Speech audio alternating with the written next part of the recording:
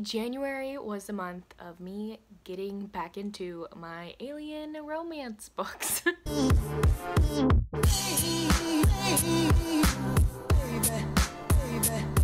Hey y'all, what's up? My name is Averie and today I'm going to be talking about all the books that I read in January. Hi there everyone, it's a new setting, uh, it's a new place, it's a new year. I'm super excited and hopeful for this year coming up with booktube and life and everything in general. I had a pretty good reading month in January. I ended up reading 20 books. Granted, most of those were audiobooks that were under 200 pages. So first I'm just going to talk about the book that I'm currently reading because I technically read like half of it in the month of January, and that is The Hate You Give by Angie Thomas. This is a reread for me. I originally um, listened to this book, I believe, two years ago. Loved it, five stars. This one's gonna get a five stars, this reread. I'm actually in a multicultural literature reading class this semester, so uh, we got to pick out of two books and I picked this one again because it had been a while since I read it and I'm loving it. I actually forgot a lot that happened in this book um, so I loved how I got to reread this book in January, well half of it at least, and um, get back into this world and learn some more about Star all over again. If you didn't know, this is a young adult novel um, dealing with a girl named Star and how she witnesses her best, one of her best friends uh, be shot by a white police officer for basically doing nothing. It brought to light some things that I didn't even know before because I'm ignorant in some ways because of the way that I grew up. I love this gonna get a five stars from me. I still have about a fourth of the way through and I'm gonna finish it later this week for my class. Next, we're gonna talk about all the books that I read during the Smutathon. That is a readathon that happened uh, in early January where you read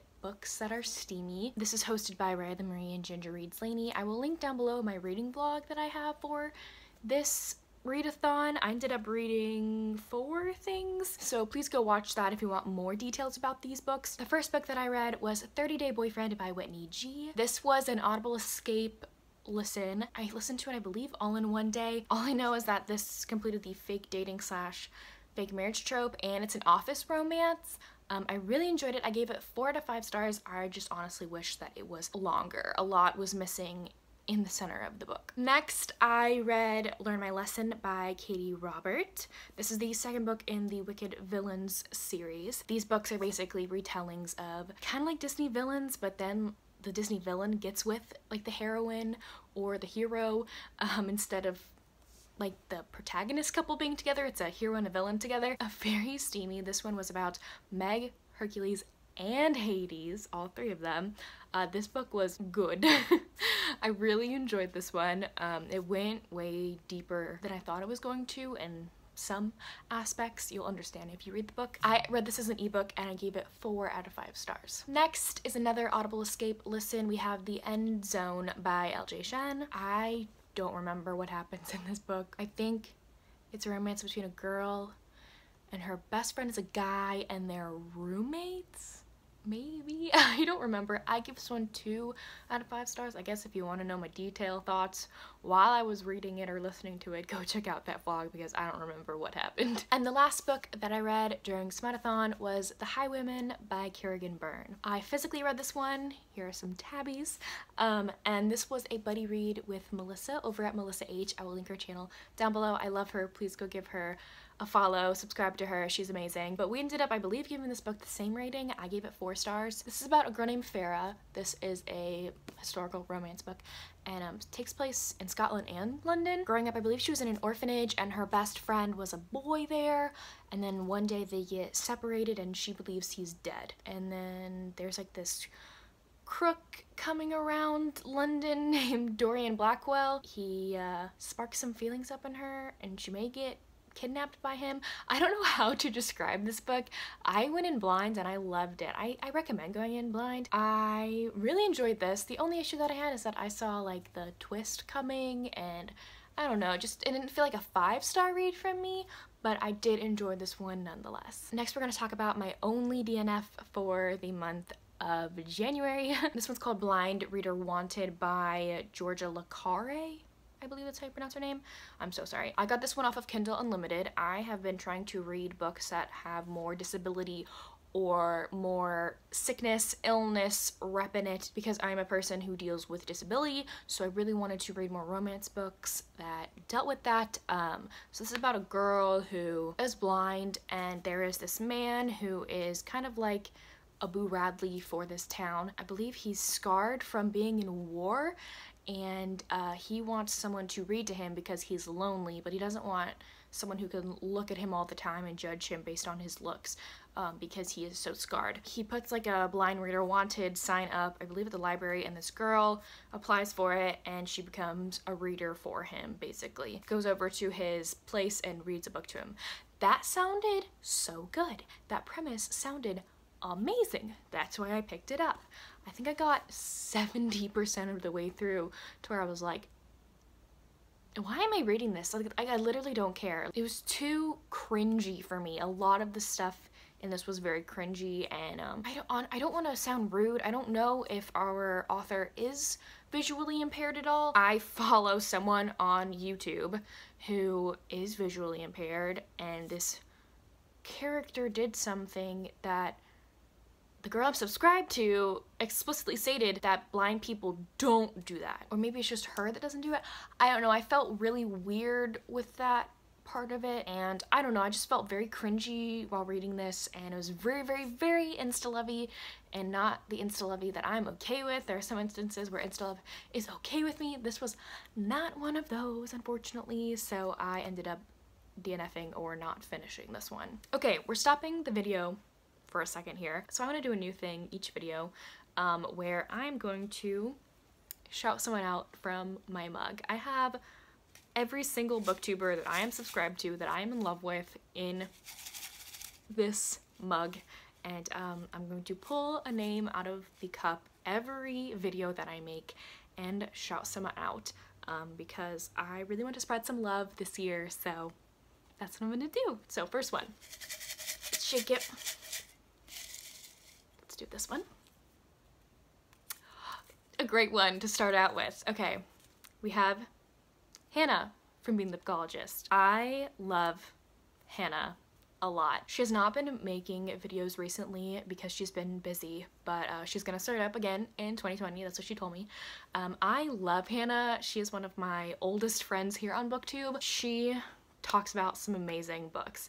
Um, she's mainly a YA reader, um, so if you're into YA books, please go check out Hannah. Uh, I believe she reads contemporary and fantasy, if I'm not mistaken. I love her personality. She's so bubbly. She's so sweet. She's so nice and welcoming and just an amazing person and I think she deserves way more recognition than what she's getting. Like, she should have all the subscribers, y'all. Like, please go subscribe to her. She's fantastic. She's wonderful. I love her so much, and I know that y'all will too. January was the month of me getting back into my alien romance books. I read a bunch, a bunch, and none of them, I believe, were over three and a half stars. I, I just love listening to these. I don't know why I love popping the, my earphones in, walking to class, and just listening to an alien romance book. And I continue with a series that I don't give over three stars. just because I like the world. the first book that I'm going to talk about is Assigned a Mate by Grace Goodwin. I ended up reading actually maybe up to book number five in this series. I don't remember the names of them, but I'm not going to like list them off for you because they're basically all of the same thing. So Assigned a Mate, uh, this one, if I remember correctly, uh, this one is on Audible Escape, by the way. Um, I believe the first three books are on Audible Escape, and then you have to buy the rest of them. Um, I had a credit, so I think I actually only read the first four. Anyway, um, this girl basically goes into an interstellar bride program. So basically, Earth knows that aliens exist. They make a deal with certain aliens to protect them from evil aliens. So in order to like have an alliance with these aliens, they have to send brides to certain planets. So they end up asking women who are in prison, hey, do you want to stay in prison or do you want to be an alien's bride and go away to a different planet? so some women choose to go to a different planet. this is about a woman who is basically kind of like in the witness protection program. Um, she witnessed a man being murdered when she was working in her hospital and the government I don't know, maybe the government, I don't know who's behind it, but they want to protect her, and the only way to protect her is to send her off to another planet to be a bride to an alien. These books are very, very, very, very, very steamy. Fair warning to you. I really enjoyed my time reading these. It really, really, really sparked my love again for alien romance because I love alien romance. The Ice Planet Barbarian series is one of my favorite of all time. I've read all of the books in the main series and the spin-off so I was just wanting to get back into my feeling with alien romance books. I ended up just giving this one a 3 out of 5 stars. I thought it was okay. Speaking of alien romances, um, um, um, um, there is another series. It is called Red Planet Dragons of Tajas. Jas, I don't know how to pronounce that. The second book is called Dragon's Mate because I listened to the first one, I believe, last year. This series is very, very, very similar to the Ice Planet Barbarian series. If you like Ice Planet Barbarians, this series is if the women crash landed on a desert planet instead of an ice planet. So there you go. The main reason why I didn't really enjoy the first book is because it was just after I finished the Ice Planet Barbarian series and was like, this person's ripping this person off, like this is so freaking similar. Um, well now I'm just like, I don't care, I want to read about aliens. it's just like Ice Planet Barbarians. Women get crash landed on this desert planet and um, these aliens are kind of like human and dragon mixed, kind of, and they find their mates with these earth women. this one is on Audible Escape, the second book. Mm, I don't know if the first one is actually, but I ended up giving the second book a 3.5 out of 5 stars. The third book in the series, Dragon's Love by Miranda Martin. Audible Escape, gave it three stars. Next book is Dragon's Hope. I read this one also on Audible Escape. I did not rate this one. I just am going to probably just start not rating these books because I don't know what to rate them. Like, I, I, like, I just, I don't know anymore. So I, I may not rate them anymore. I know I, I, didn't rate this one. Next, we're going to be talking about a series, Young Adult Paranormal Romance. If those sound interesting to you, maybe this series is for you. Um, this one is on Audible Escape.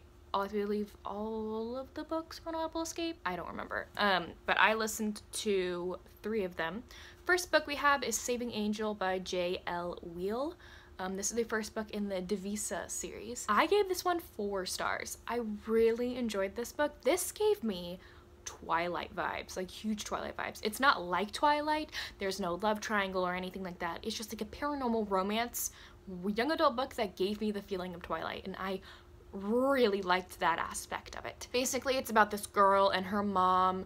They move to a new town or new state, I don't remember. She's the new girl basically and she moves into a house kind of like in a big area, just like in the middle of nowhere. She lives in the middle of nowhere and her next door neighbor is just one house. And the family that lives there is a dad, his daughter, his son, and then the dad's nephew lives there with them and it's her romance with the nephew that's there. But little does she know that these people are human demon mixes.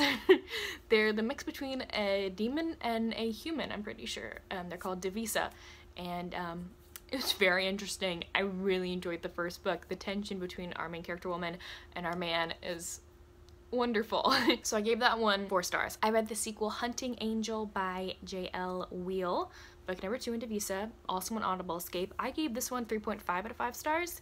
Didn't love it as much as the uh, first one. Then the third book, Chasing Angel by J.L. Weil, third book in Divisa series, Audible Escape, Listen. I gave this one two stars.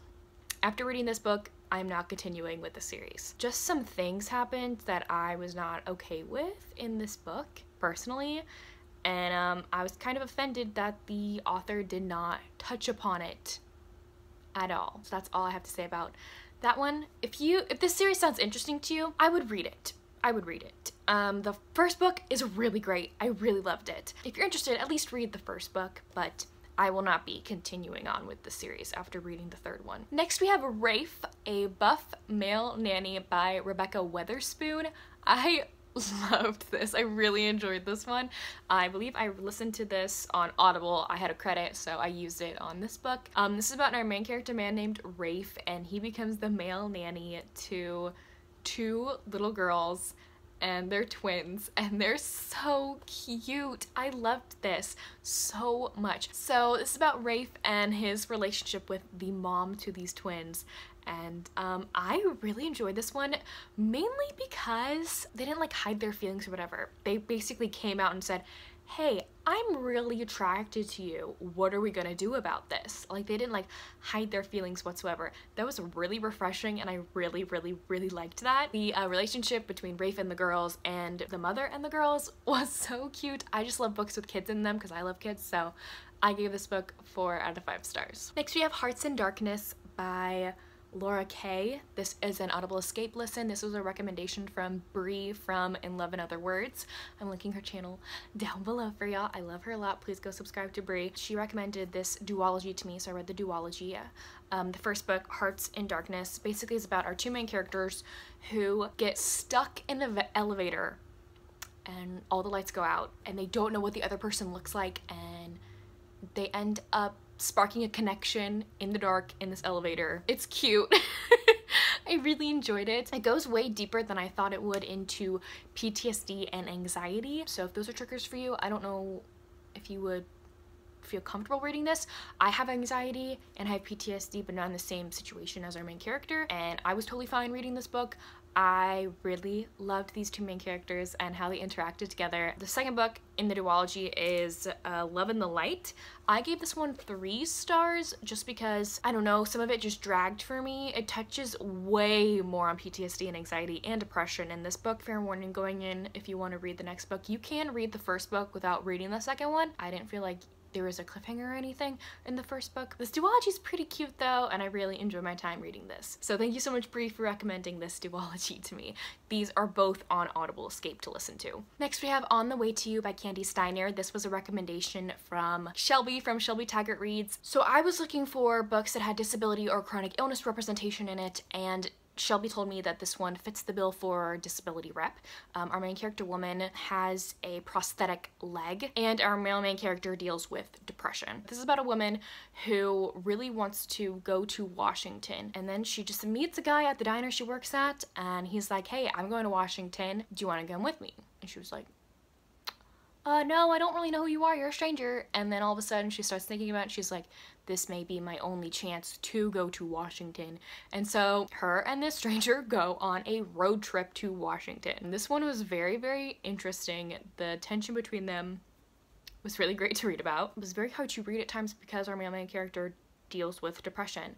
And um, the main reason why I could not give this five stars, I gave it four stars, is because the main character woman does something that I didn't like, I didn't really approve of, and I couldn't, like, it gave me a bad feeling and, like, left a bad taste in my mouth of her doing something that I didn't like, and I just knew I couldn't give it five stars because of that, but I ended up enjoying it. Nevertheless, gave it four stars. This one is also an Audible Escape if you want to listen to it. Next we have Attachments by Rainbow Rowell. So great. I gave this one four stars. This is about our main character named Lincoln. This book is set in, I believe, the 1990s and he is an internet security guard for this company. So basically he just reads emails and flags whatever emails are not talking about work. The company's saying you shouldn't use your work email for personal use. Um, so he's basically just tracking emails and reading people's emails. And he reads emails between Beth and Jennifer, and he ends up developing feelings for Beth while he's reading their emails. He has no idea who she is, but he ends up falling for her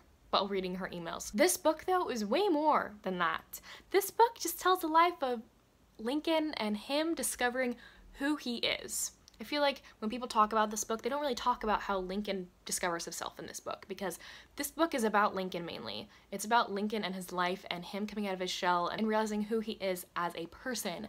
I loved that and this was just a really great book um, if you're not really into romance and you maybe want to dip your toe in a little bit, I really recommend this one because there's not really all that much romance in here. It's mainly just about Lincoln, but he does develop a really big crush on Beth through these emails. I gave this one 4 out of 5 stars. Next we have an Audible Escape listen. We have Heidi's Guide to Four-Letter Words by Tara Sivec and Andi Arndt. I personally love Andi Arndt. She is the audiobook narrator for a bunch of my favorite romance books. I love her. She was the narrator also for this book as well as writing it with Tara Sivec. I loved this so much. I don't think I've ever seen a person give this book five stars. People have just said, oh, it's really cute and funny. Four, three stars, whatever. I give this five stars. It is the most I have ever, ever, ever laughed reading a book ever in my entire life. I freaking love this book. This is about a girl named Heidi. She really needs a job and she doesn't realize it, but she ends up getting a job working at a audiobook place that reads dirty books. And to help her become more comfortable, she ends up starting up a podcast of her reading these steamy books. And uh, this book is also about her gaining confidence and maybe going out and asking her next door neighbor out who's really really cute and she has a huge crush on. I've never laughed more in my life than reading this book. It is so stinking funny. I love it a lot and I really want a physical copy, but I don't even know if they make them because I think it's a sole audiobook. But um, if you want an audiobook, this is the way to go. It is freaking hilarious. I gave this one five stars. Next we have Archer's Voice by Mia Sheridan.